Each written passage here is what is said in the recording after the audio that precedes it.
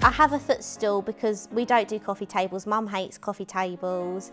Uh, it's a lot more versatile to have a footstool because you can put your tray on it and then you've got coffees, vases, candles, but it's also a footstool so it's extra seating. You can put your feet up, it's perfect. And I've just got a couple of my husband's books.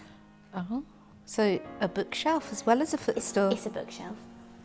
so what have I got? Yeah. I've sheepskins, Sheepskins always. wooden tray, candles. We use our footstool for a gaming table. Yep. We use it. We use it for everything really. The kids also use it for um, as a stage. That's not me, guys. Yeah, we don't jump on our footstools, do we? No, Anyway, Grandchildren. yeah.